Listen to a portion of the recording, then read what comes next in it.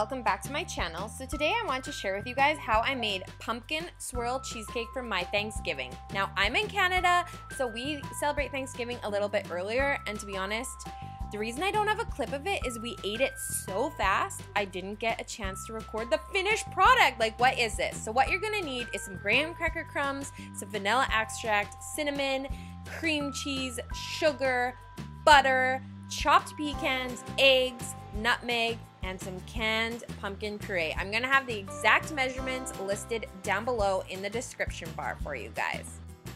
First, you're gonna wanna preheat your oven to 350 degrees. Then we are going to start on our crust. So we're going to add our two cups of crushed graham crackers, as well as our chopped pecans and our melted butter. Then we're going to stir that until we feel it's well combined. I like to just use a fork. I find it stirs it the best way and combines it the best. Then you're going to pour it into the bottom of your cheesecake pan and press it down. Now we're gonna move on to making the actual cheesecake. The first thing is we're gonna blend together is the cream cheese, half a cup of the sugar, and the vanilla.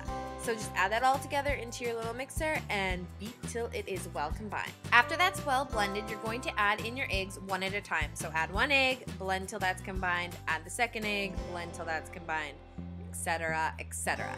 Then once that is all completely mixed together, you're going to remove one cup of this batter. That is going to be the white swirl in our pumpkin cheesecake. And then we're gonna move on to making the pumpkin portion. So for the pumpkin portion of this pumpkin cheesecake, you're going to add in your pumpkin puree, the rest of the sugar, which is about a quarter cup, I believe, and then the spices, so the nutmeg. So you add that all in, and then you blend that until well blended.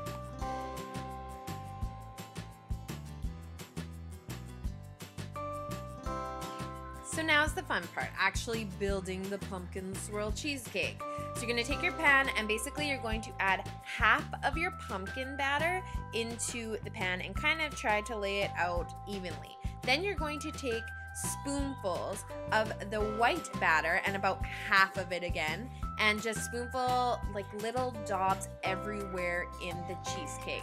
Then you're gonna continue and repeat that with the second layer, the other half of the pumpkin cheesecake, and then blobs of the white batter until all the batter is in there. Now it's time to make the swirl. This is so easy, guys. You just take a knife and basically just swirl it through the cheesecake back and forth, back and forth until you got this beautiful design and then you are ready to stick your cheesecake into the oven. As for putting the pumpkin cheesecake in the oven, the only thing I have to say is put a pan of water underneath. It's going to really help prevent it from cracking. So you're going to put it in the oven for 45 minutes and after that, the only other advice I have is just let it cool for an hour in the oven with the oven door open. Then after that, you're ready to take it out, put it in the fridge for a couple hours and devour it, just like my family did why I don't have a clip of my end cheesecake. But that's all for this video, guys. I hope you enjoyed it, even though it kind of was poopy without the actual finished product. Come on, Michelle. Anyways, that's all. I love you guys to the moon and back. Bye!